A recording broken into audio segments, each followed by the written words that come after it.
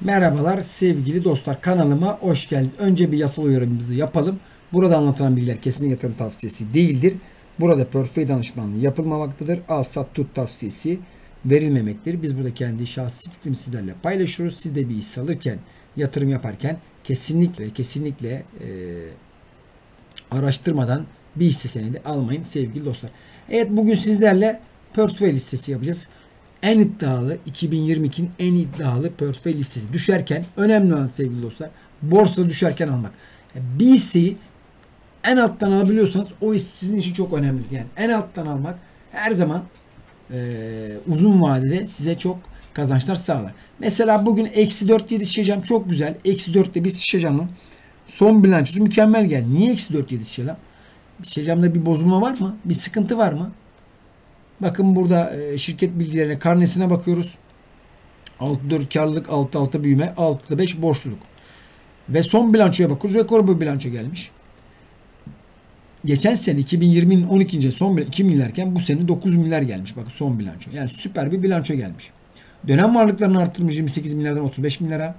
Duran varlıklarını 24 milyardan bakın ikiye katlamış 52 milyara. Öz kaynağında 27 milyardan 39 milyara çıkarmış. Yani şişe bir bozulma var mı? Yok. Yani şişe çok güzel bir şekilde PD olarak da çok uygun. E, baktığınız zaman fiili dolaşım olarak da e, çok güzel bir fiil dolaşım var. Ödenmiş sermayesi. Bakın burada brüt kar marjında bir düşüşlük var mesela. Burada yani %36'dan %33'e düşmüş. Çok da bir düşüş değil. Bu %33 çok güzel bir e, brüt kar marjı. Net kar marjı önemli olan arkadaşlar. Bakın net kar marjı %16'dan %45'e çıkmış. Bu çok güzel bir bizim için gösterge. Öz kaynak karlılığı %19'dan %29'a çıkmış. Ben bunların destek dirençlerine bakmayacağım sevgili dostlar. Biz burada 13.34'ten şecamı alacağız. Ee, destek dirençlerinin burada sadece ben e, temeline bakacağım. E, bir bozulma var mı? Yok. Şirkette bir bozulma yok. Demek ki bu şirketimizde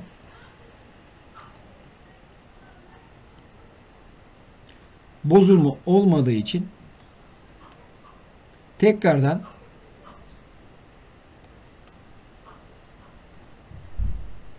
Evet şöyle bakalım. Şöyle e, baktığımız zaman net dönem karını çok güzel bir şekilde katlamış.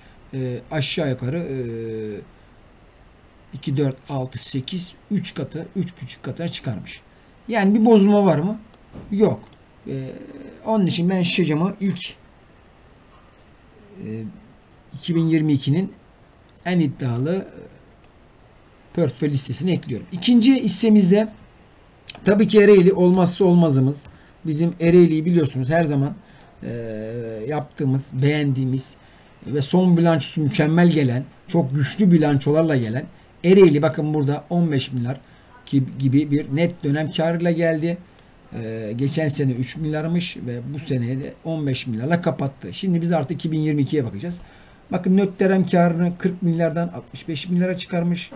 Ee, duran varlıklarını 40 milyar 60 milyara çıkarmış ve öz kaynaklarını 52 milyardan 82 milyara. Aynı Şecam gibi çok güçlü bir e, sağlam bir şirket. Borsayı ayak tutan şirketler arkadaşlar bunlar. Bunlar bugün bakın e, eksi 5 7 Şecam'da eksi 4 7. Yani biz bu hisseleri buralardan alacağız. 27.94'ten alacağız ve bu hisseleri ben biliyorsunuz Ereğli'yi ben 18 liradan 16 liradan verdim. 20 liradan verdim.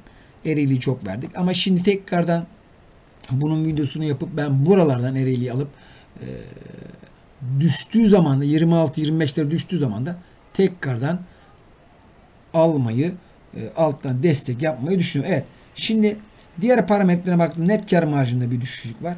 Bu olabilir. Uzun var 27'den %27'den %18'e düşmüş. Öz kaynağında da %27'den %25'e düşmüş. Bunlar çok önemli değil.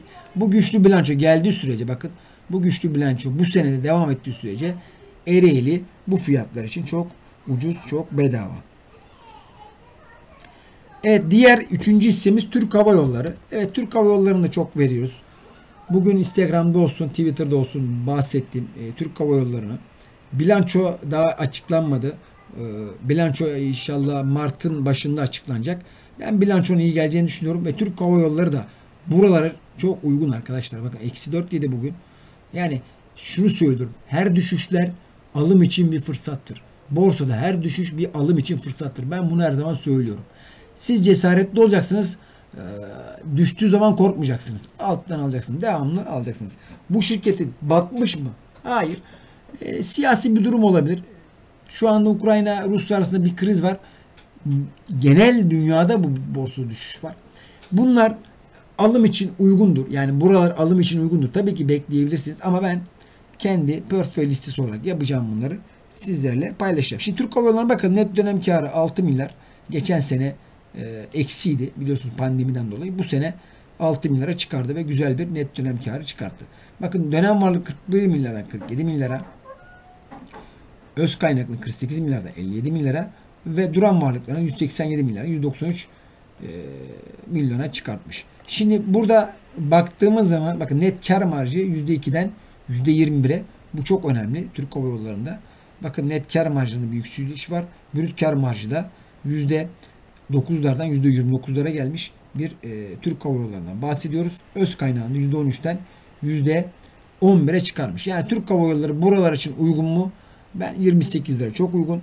İlerleyen zamanlarda Türk Hava Yolları'nda çok güzel seviyelere geleceğini düşünüyorum. Yani burada sizlerle 3 tane hisse paylaştım. Bu 3 hisse tabii ki sağlam hisseler e, bakın özellikle seçtik bak sanayi e, demir çelik e, cam sektörü ve hava sektörü 3 tane. Dördüncü isim de Arçelik sevgili dostlar. Ben Arçelik'in de hala da çok e, uygun olduğunu, buralar alım için fırsat olduğunu düşünüyorum. Bugün Arçelik bakın Arçelik'te bir de arkadaşlar e, bir de toplama var yani topluyor hisseler. Bunu e, şirket hep 500 not, 500 bin not, 600 bin not topluyor. Ufak ufak topluyor Arçelik. Yani Arçelik'in buralar bence çok çok e, ucuz düşünüyorum Arçelik'te. Bakın net dönem karını 3 milyar olarak açıkladı. E, fena bir net dönem karı gelmedi. Dönem varlıklarını 43 milyardan 59 milyara, duran varlıklarını 18'den 25 milyara ve öz kaynaklı 14 milyara 19 milyara çıkardı. Yani Arçelik de e, bu konjektörde yaza doğru ben daha güzel seviyelere gideceğini düşünüyorum. Onun için Arçelik'le buradan 54 liradan hemen e, biz şeyimize yazalım. 54.10 portföy listemize Arçelik'i etkili, et, ekledik. Şimdi Arçelik şurada net kar marjına baktım %8'den %3'lere düşürmüş. E, bu çok da önemli değil. Burada e, öz kaynak karlılığının %30'dan %18'e düşmüş. Bu ilerleyen zamanlarda e, Arçelik'in de yukarı doğru gideceğini düşünüyorum. Bakın burada karnesi karlılıkta birazcık altta bir karlılıkta biraz sıkıntı var. Biraz kara geçtiği zaman ben Arçelik'in de çok güzel yerlere geleceğini düşünüyorum. Bakın burada 6'da 6 büyümesi var. Büyüyen şirket her zaman tabii ki e, büyüyen şirkette her zaman borç olacaktır. Alttaki de borçluluğu var. Sadece kar sıkıntısında bir kar oranında bir sıkıntı var. Ama ben Arçelik'in de buralardan e, daha yukarılara gideceğini düşünüyorum. Tabi bölünmediği takdirde sevgili dostlar. Bunu da söyleyeyim. Burada anlatılan bilgiler e, kesinlikle yatırım tavsiyesi değildir. E, biz burada kendi şahsi görüşümü sizlerle paylaşıyoruz sevgili dostlar. Siz de kendiniz bir hisse alırken kendi kararınızı, kendi risk analizini yapın. Öyle karar verin. E, burada ben sizlerle 4 tane şirket paylaştım. Ereğli Türk Hava Yolları, Şecam, Arçelik. Bu 4 şirketi e, artık 2022'nin en iddialı portföy listesi olarak bunları her bir ayda bir yapmaya çalışacağım. Bugünden itibaren bunları not alacağız. Sizlerle beraber yapacağız. Bilançolar olsun. E, her bilançoda açıklamaya çalışacağım. Ve buralar bizim için de dediğim gibi her düşüşler borsada alım fırsatıdır. Bunu unutmuyoruz. Ve kanalıma abone olmayı, e, bildirim zilleri açmayı unutmayın sevgili dostlar. Bir de Instagram adresim var Mursel Birinci e, ve Twitter adresim. Buraya sizleri e, bekliyorum. Kendinize iyi bakın. Herkese iyi akşamlar, bol kazançlar.